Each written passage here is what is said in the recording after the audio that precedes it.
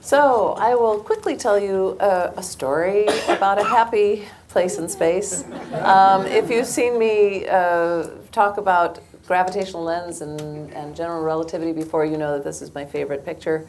Um, but it's not just that uh, space was happy, Einstein was happy too, um, because uh, there is another result from the LIGO Observatory. Normally, we tend to think of space as being just space, up and down, side to side, back and forth. It's, it's rectangular, it's, it's flat, as we say, Euclidean. But one of the great insights that our friend Albert um, had was that maybe one way to think about gravity uh, is that maybe uh, to do the math as those spaces curved. And like this little picture shows you, instead of it being up, down, right, left, you know, perfectly everything orthogonal, that when there's mass, heavy mass around it, bends space-time so that lengths are different in one direction versus the other. And it, it has the effect of like providing curvature. So for example, an, an example, a very kind of simple one, you know, you drive to New York to Los Angeles, if you had a straight road, you'd think you were just driving straight, but the surface of the planet is curved, so in fact you're doing another, you're actually curving as you go over the Earth's surface. That's the, the solid surface of Earth, but space has the same kind of attribute. When you go near something that's massive, there's actually a curve kind of built in to, uh, to space, to space-time. And um, that's why things kind of fall in. If you imagine rolling a marble along that, uh, if it got anywhere near that dimple created, by that large yellow massive body, it would just fall in. If you rolled it with enough uh, speed, it might be deflected, but it would keep on going.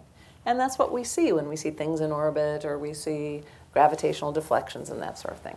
So anyway, the curvature of space-time can do all kinds of fun things, like let Matthew McConaughey travel into new dimensions. It can hide cats, uh, and um, and uh, because of the nature of space-time, when there's something really massive or energetic happening, like the merger of two black holes, it, it causes space-time itself to sort of jiggle. There it is, right there. See how it kind of wobbled? because the energy released of the merger of these two black holes was so great it caused things to wobble. We can pick up that wobble here on Earth. It's insane. The wobble of space-time is like one one thousandth the width of a proton. It's so tiny, barely, barely perceptible. Not perceptible, let's just put it that way. It's not perceptible. Well, leave it to clever scientists and engineers who have been working for a long, long time to create this observatory called LIGO, the Laser Interferometer Gravitational Wave Observatory. And it's actually two buildings, each of them with these long uh, tubes. And uh, at the end of each tube is a mirror, and they shoot a light beam down the tube and back. And just based on how that light beam is ever so slightly altered on that long path that it takes, they're able to actually detect this little tiny, tiny wobble of space-time. Now, those two observatories that I mentioned are uh, actually kind of far apart. One is in Washington State, one is in Louisiana. And so when they get the same signal, uh, you know, at close to the same time, it's not like a local truck rolling by or an earthquake or something. It's coming from space it came from outer space. And so uh, what kind of is going on here is that this is gradually, uh, greatly exaggerated. I love that little, I'm so glad they put that on there, that the Earth uh, sort of stretches and shrinks as the gravitational waves come by and and then it, because of the speed up, as it spins up, it wobbles faster, faster, faster, and then you get that, um, that effect. So here the light beams going down those four kilometer long tubes, and they wiggle too, and they interfere with each other and give a little signal, that little up and down signal. So that's the nature of LIGO, and big, big, big news. Uh, last year, um, and in 2015, well, 2015 was when it happened, it was announced in 2016, they discovered two, possibly three um, mergers of black holes.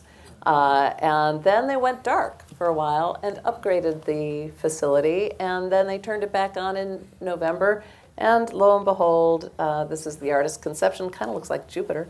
Uh, they found another um, in January. And uh, so there's the little wiggly thing that is characteristic. You can see the two different, uh, one is from uh, the yellow and the blue are from the two different observatories, and the black there is the model. And from that, they were able to determine all kinds of details about the nature of the merger. Um, and there's the signal again, looking quite wonderful. Um, and so this is starting to really add up with statistics. I mean, the first one you saw a lot of announcements, oh, Einstein was right, Einstein was right. And if you've seen me talk about this topic before, you know that I like to emphasize that that's not really the result. I mean, Einstein, there have been a lot of wonderful uh, affirmations of Einstein's theory of general relativity, so it's not that this finally proves it to be true.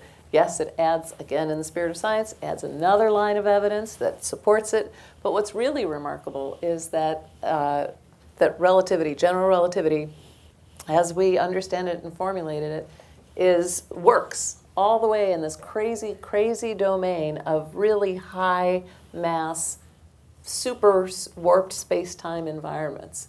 Um, and no needed modifications, no funny little signals that aren't quite right. It really, it really is able to describe this and to start giving us details of black hole mergers. So now the science that comes out of it is trying to understand how many black hole mergers, why are there so many? We're seeing a lot of them. Can we understand the nature? Of their, the masses of the black holes are not really the standard mass that we always think about black holes being either less or a whole lot more, you know, millions or even billions of times the mass of the sun. So now the, the, the nature of it is changing as we build up these statistics. Um, Right now, there are just the two there, the LIGO in the United States. Uh, the Virgo array or Virgo detector in, um, is coming online in the end of this year. And once you've got three, then like cell phone towers, you'll be able to localize the source. Right now, we can sort of say, hey, it's kind of over there. But when you've got the third one, then you can actually triangulate and get the location of the source and look for other signals that might or might not be emanating from that spot. Because right now there's too much space to search to say, okay, can I find anything there? Because we don't really know where they're coming from. So that's pretty exciting. Uh, there is a lot planned down in the future uh, of being able to really study this effect at uh, all kinds of um, levels and, and frequencies. We're seeing the very last little bits of the final spin down when it goes, you know, and twirls together. But in fact, you ought to be able to see longer period um, oscillations uh, through other means um, as we develop the technologies to go forward.